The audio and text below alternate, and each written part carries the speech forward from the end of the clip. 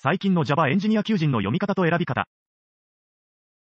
Java って今も需要あるよね ?Java はサーバーサイドと Android の両方あるから求人数は最強なはず。SIR 系と自社サービス系、どっちがいいかな ?Java の求人も最近は多様化していますよね。サーバーサイドも Web サービス、スマホアプリゲーム、業務システムと色々ありますし、Android アプリも Java なのでクライアントサイドでの開発もたくさんあります。私は Java で業務システム開発を10年やった後、Web サービス、スマホゲームの開発へ転職しました。そんな経験を踏まえて、最近の Java エンジニア求人の読み方と選び方を紹介します。サーバーサイド Java エンジニアの求人。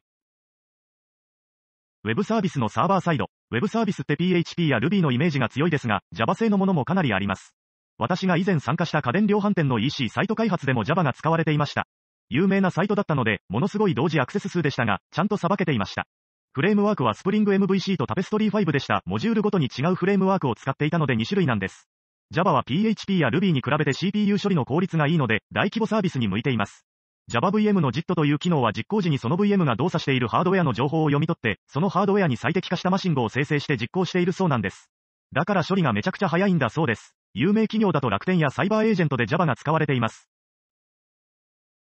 スマホアプリゲームのサーバーサイド。私が以前参加した2つのスマホゲーム開発のプロジェクトはどちらもサーバーサイドに Java を使用していました。フレームワークはスプリング MVC とストラッツ1でした。 Struts 1で JSON API を作ってる会社があったのは意外でしたが、さすがに Struts 1は根強いですね。感覚的にスプリング MVC がストラッツ1に変わるデファクトスタンダードになりつつあるのかなと思います。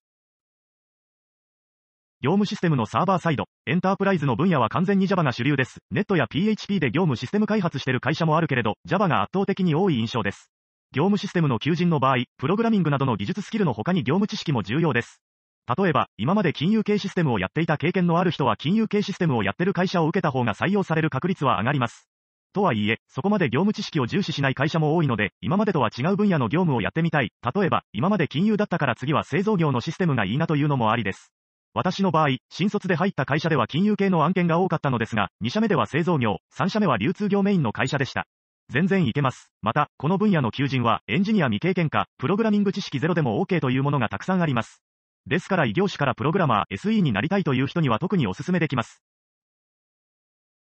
クライアントサイド Java エンジニアの求人。Android エンジニア、 Oracle が Google を Java の著作権侵害で訴えていますが、裁判がどちらに転んでも Android から Java が消えることはないだろうという見方が優勢なので、Java の Android エンジニア需要は今後もあり続けると思います。とはいえ、Android 開発において Kotlin の存在感が高まっており、今後、新規に開発されるアプリには Kotlin を採用するという会社が増えていくと思われます。Kotlin は文法的に Java と似ている部分が多いので学ぶのは簡単なはずです。Android エンジニアの方は覚えておいて損はないでしょう。